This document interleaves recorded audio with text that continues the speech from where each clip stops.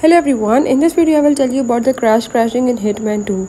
So if you want to know about the crash crashing in Hitman 2 on Windows 10 and 11 PC, I will tell you about it in this video. I will show you all the steps you have to follow them and by the end of the video you will able to fix it.